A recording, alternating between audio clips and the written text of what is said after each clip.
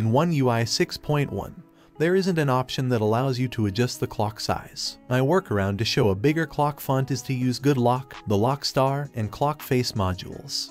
Please note that this method doesn't apply to the Galaxy S24 series.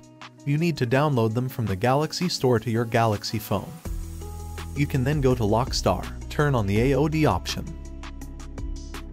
You can tap here to get into the edit mode, tap on the clock once, and then the icon in the lower left corner of the border. With the clock face module downloaded, you should see many clock styles that you can pick. There are a few that have pretty big font.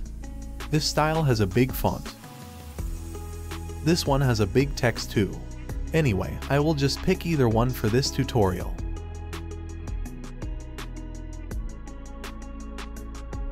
Do you see that? The font is bigger than the standard version. If nothing satisfies you here, you can go to the clock face module and create a clock with the right font size for you. So open the clock face module and you should see a list of pre-designed clock styles. Ignore them and tap the add button here to create a customized clock for the AOD. Now, you can pick a font style, format or type and change the color.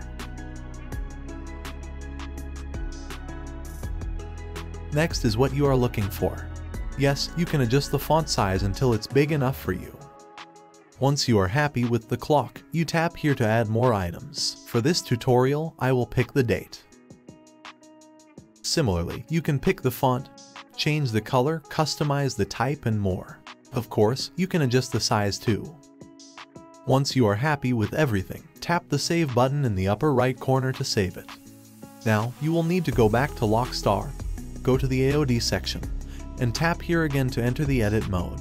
Tap once on the clock again, and then the button in the lower left corner of the border to show the list of clock styles. Look for the clock you have just created and tap Save to apply. Let's get to the AOD to confirm you have picked the right clock. Yes, this is the customized clock with a huge font. That's it for this video, thanks for watching.